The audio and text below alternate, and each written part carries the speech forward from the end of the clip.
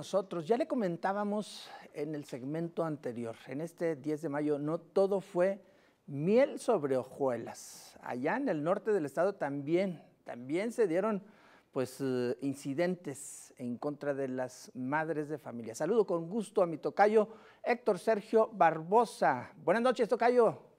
¿Qué tal, tocayo? Muy buenas noches. Efectivamente, en pleno 10 de mayo, cuando se celebra el Día de las Madres, tres sujetos drogados amarraron de pies y manos a su madre solo porque le llamó la atención al momento de intoxicarse en su casa.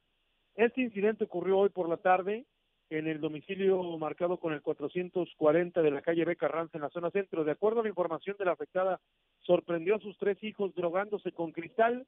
Enojada les llama la atención y estos tres desnaturalizados hijos en lugar de controlarse y entrar en razón, se le fueron a golpes, la derrumparon, la ataron de pies y manos y luego se fueron de la vivienda. Afortunadamente, la mujer logró desatarse, denunció los hechos de las autoridades y se logró el arresto de uno de sus hijos, de los tres, Edgar Abel, alias el Keiko, tiene 27 años.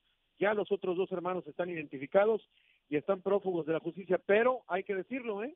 No solamente lo busca la municipal, también lo busca o los buscan la fiscalía y también la policía estatal. Así que están todavía en busca de estos dos desnaturalizados hijos que amarraron y golpearon a su mamá en pleno día de las madres porque ella lo regañó por haberse drogado en casa. Y hablando precisamente de familias, recordarás tú este caso que estremeció a la comunidad de Piedras Negras y Golpaz y de Acuña del Río. La historia de los migrantes que se escribe a diario.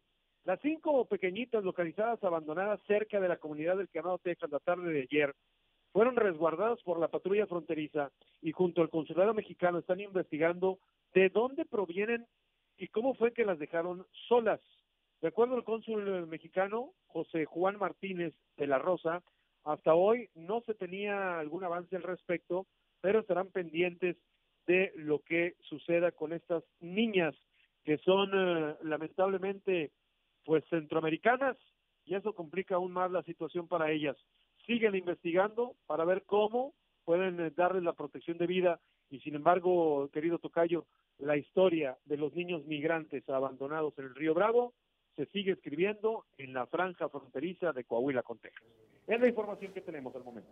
Puras notas tristes, caramba. Muchísimas gracias, Tocayo.